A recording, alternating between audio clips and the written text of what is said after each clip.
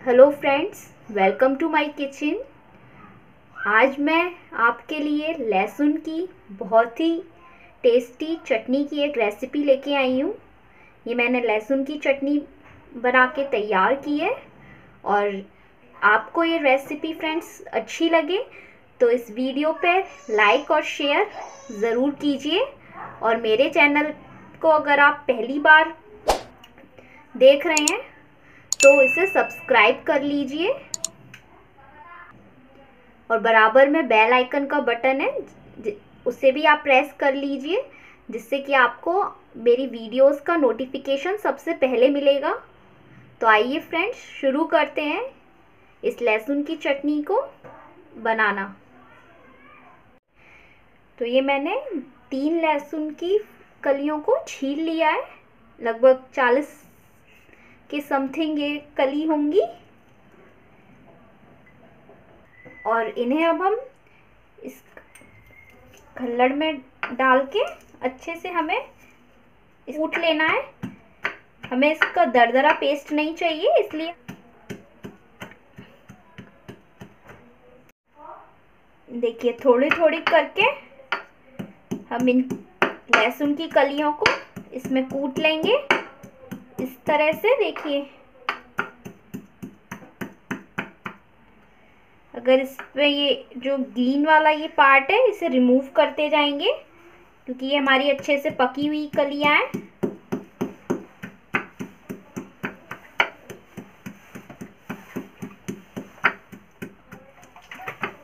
और इसी तरह से हम सारी कलियों को इसमें कूट के बर्तन में रखेंगे। देखिए, हमने इसे कूट लिया है। अगर आपको ऐसा पसंद नहीं हो तो आप लहसुन को पेस्ट के फॉर्म में भी यूज़ कर सकते हैं। ये मैंने एक चमचा, यानी वन टेबल स्पून कश्मीरी लाल मिर्च ली है और इसका हम एक पेस्ट बनाएँगे। तो इसमें मैं थोड़ा सा पानी ऐड कर रही हूँ।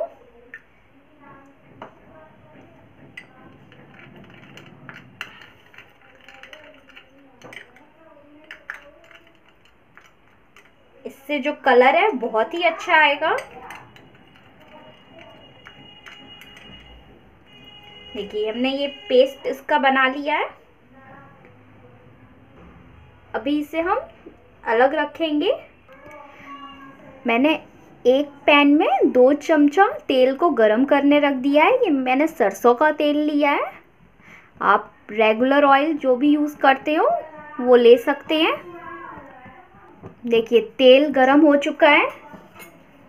अब इसमें मैं एक चम्मच जीरा डाल रही हूँ। जीरा को हम स्प्लेटर होने देंगे। देखिए, जीरा अच्छे से भुन गया है। अब इसमें हम ये लहसुन का पेस्ट डालेंगे और फ्लेम को हमें लो ही रखना है।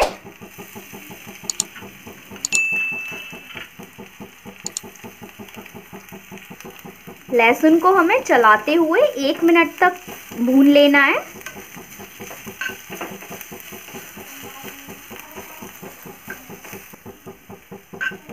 इसे हमें लगातार चलाते हुए ही भूनना है। आप बीच में इसे चलाना बंद नहीं कीजिएगा, नहीं तो कहीं से लहसुन जल जाएगी।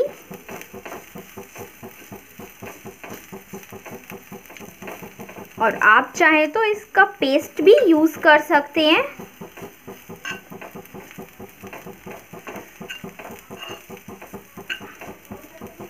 लहसुन बहुत ही फ़ायदा करता है।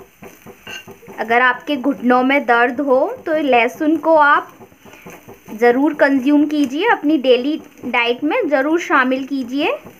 तो ये चटनी बना के आप दस से पंद्रह दिन तक आराम से इसे रख कर खा सकते हैं।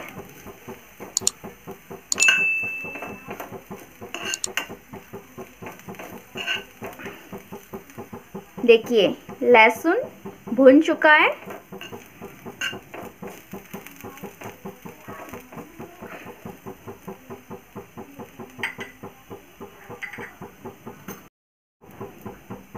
अब इसमें ही मैं, ये जो हमने पेस्ट बनाया था, कश्मीरी लाल मिर्च का, इसे ऐड कर दूँगी।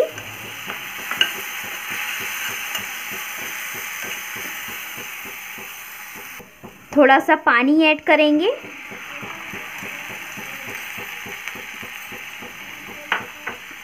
और इसे एक बार अच्छे से मिक्स कर लेंगे।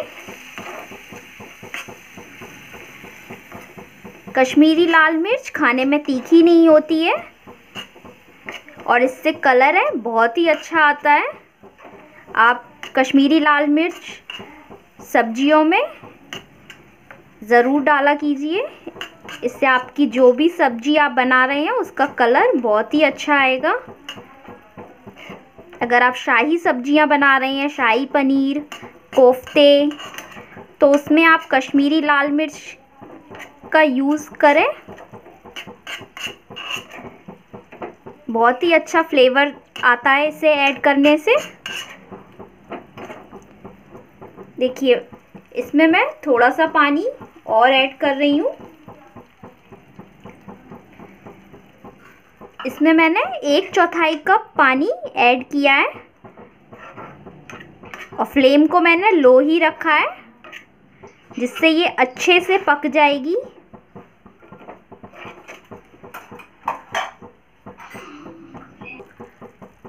अब मैं इसमें नमक ऐड कर रही हूँ।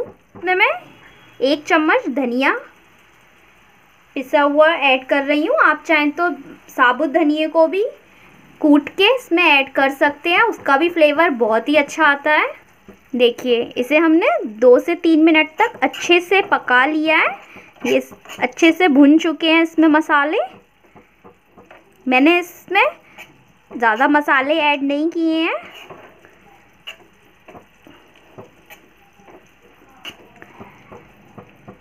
और इसकी कंसिस्टेंसी आप अपने अकॉर्डिंग रख सकते हैं, क्योंकि चटनी थोड़ी गाढ़ी ही अच्छी लगती है, इसलिए मैंने इसे एकदम गाढ़ा कर लिया है। अगर आप थोड़ी पतली खाना पसंद करते हैं तो इसको थोड़ा पतला भी रख सकते हैं। अब मैं फ्लेम को ऑफ़ करूँगी। देखिए, मैंने फ्लेम को ऑफ़ कर दिया है, और अब मैं इस स्टेज पे इसमें एक चम्मच दही डाल रही हूँ। अच्छे से हमें मिक्स कर लेना है। दही को हमने गैस को ऑफ़ करने के बाद ही ऐड करना है। अगर आप पहले ऐड करेंगे तो दही फट सकता है। क्योंकि इसमें अभी इतनी हीट है कि दही इसमें अच्छे से मिक्सड अप हो जाएगा।